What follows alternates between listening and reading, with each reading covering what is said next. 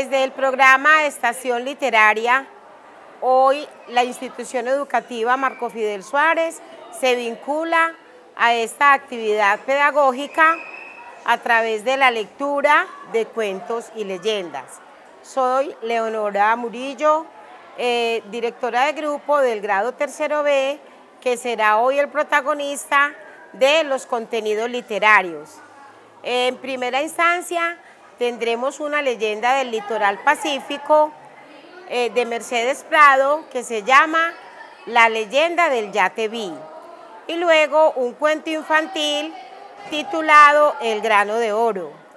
Los estudiantes se entusiasman mucho con la participación en este espacio y comparten su lectura y su oralidad. Leyenda de Yatevi. Cuenta los viejos que en los montes de la costa pacífica colombiana existe un bejuco llamado Yatevi. Ellos dicen que este bejuco tiene poderes mágicos. Cuando una persona entra al monte debe saludar inmediatamente al bejuco diciéndole Yatevi. Con este saludo se evita que el bejuco lo roce y le cause una fuerte irritación en la piel. Todo el mundo debe saludarlo, aunque no lo haya visto, si no lo saludan, el bejuco lo rosa, para recordarle que no lo ha saludado. Entonces la persona debe mirarse la irritación y decir, ya te vi, así pasa el ardor y la irritación. El grano de oro. Inés buscaba oro, mazamorreando todos los días la arena del río, hasta que encontró un grano de oro tan grande como el ojo de un gato. Vino la madre de agua, se lo quitó, se lo llevó y convirtió en gato al otro día Inés dijo, papá y mamá, échenme la bendición que me voy a buscar mi grano de oro. Buscando estaba cansada de tanto caminar. En la raíz de un palo se sentó a descansar. Cuando observó bien el suelo, vio un anillo. Encantado que sorpresivamente le dijo, Mira Inés, si caminas hacia adelante encontrarás tres caminos. Uno hacia la izquierda, otro en el centro y otro hacia la derecha. Toma el de la derecha y me traes un animal. Se fue corriendo Inés y trajo un gusano.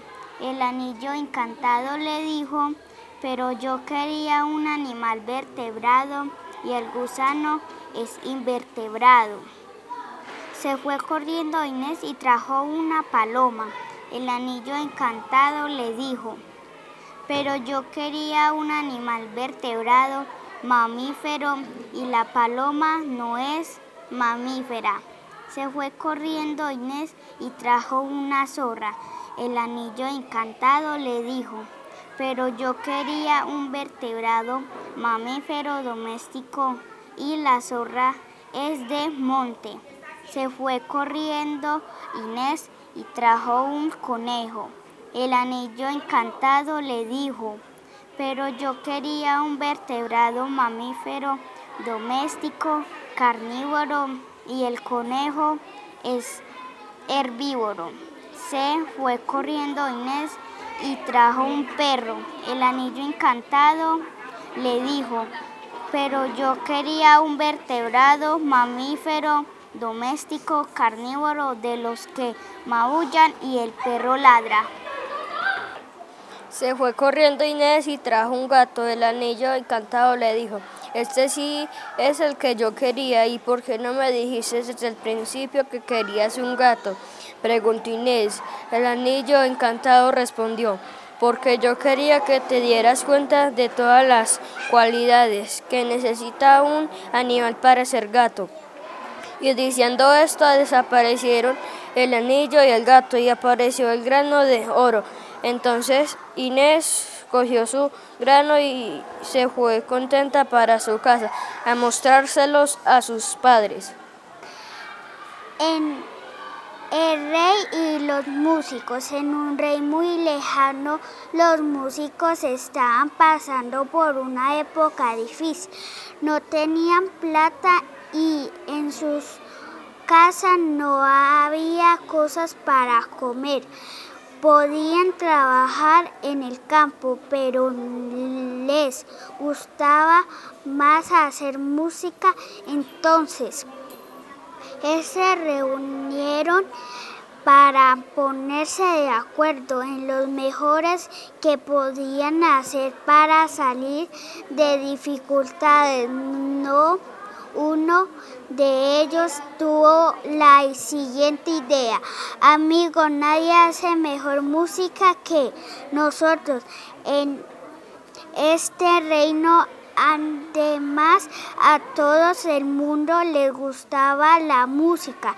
El problema es que la gente no tenía pagar nuestro trabajo, pero alguien, alguien que sí tiene dinero y no se tiene que preocupar por la comida.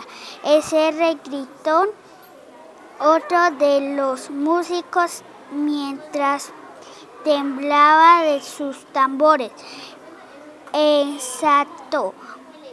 Continuó el que había empezado a hablar, pues vamos a hacer el rey solución nuestro problema. Y como preguntó otro, que esté afinado sus violines que todos sabemos que es muy difícil conseguir una entrevista de rey. Es que no le vamos a permitir una entrevista. El plan es muy sencillo. Nos reunieron eh, al pie del castillo de rey y tocamos varias piezas bien alegres. Cuando él se asomó a la ventana para ver quién tocaba más bonito, le decimos que nos dé algún dinero, así lo hicieron el consciente estaba saliendo muy cuando apareció el rey en la ventana con la corona. Le brillaba como el sol. Cuando terminaron, terminaron de tocar, el rey mandó a uno de sus sirvientes a que le llenara de monedas de oro los instrumentos a los músicos, todos. Quedaron dichosos y imágenes al del tambor, pero hubo uno al que quedaron no le cupo ni una moneda. El flautista, la flauta era tan delgadita que no le pudo ganarse ni un peso. Al año siguiente ya se les había acabado la plata casi toda. El flautista estaba casi tan flaco como sus instrumentos estaban. ¿Ves? Fue el quien habló.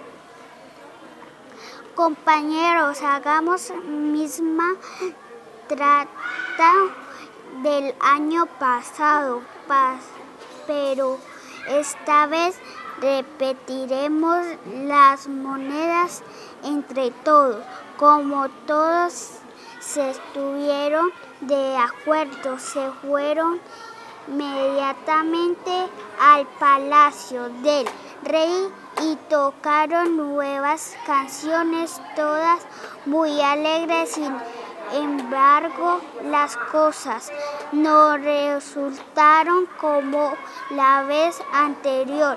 Está ocasionando el rey estaba de mal genio y en lugar de ordenar que le pusieran monedas de oro en los instrumentos, mandó a que le mentieran por los odios los instrumentos a los músicos como el único que pudieron cumplir la orden fue con el flautista.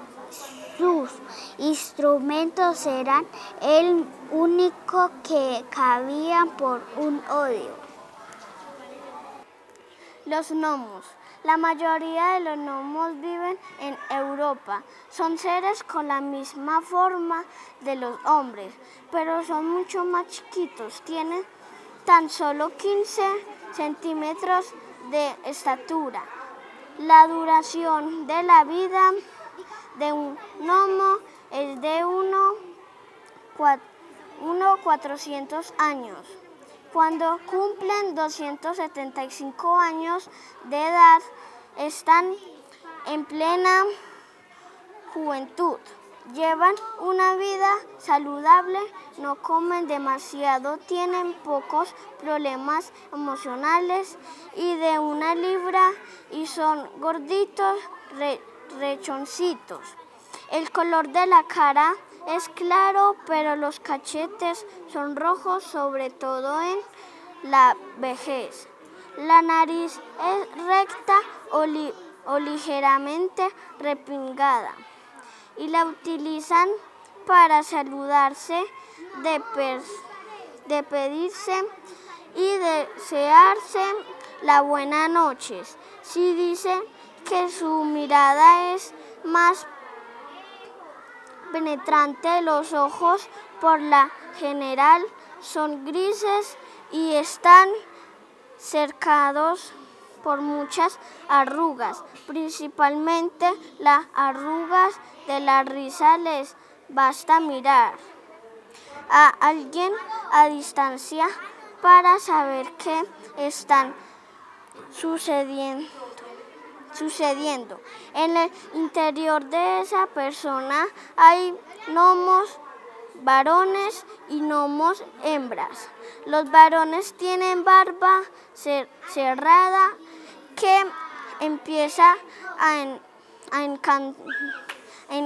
encanacerse mucho antes que sus cabellos nunca se vuelven calvos, sino si un gnomo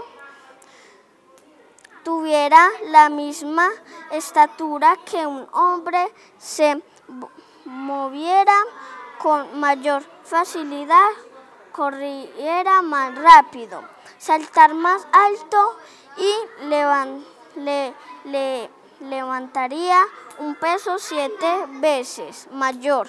Tiene mucha sensibilidad, sus dedos son como los de un hombre ciego. Su, su olfato les permite saber qué seres vivos han estado en un sitio. Su vista le permite distinguir objetos muy lejanos. Nunca se ponen de, de mal genio, aunque suelen ser enérgicos cuando los pequeños se portan mal. Esta ha sido la participación en esta programación del día de hoy de la institución educativa Marco Fidel Suárez, un espacio pedagógico y formativo que despierta y motiva a los estudiantes desde niños a participar en actividades literarias. Esto fue Estación Literaria.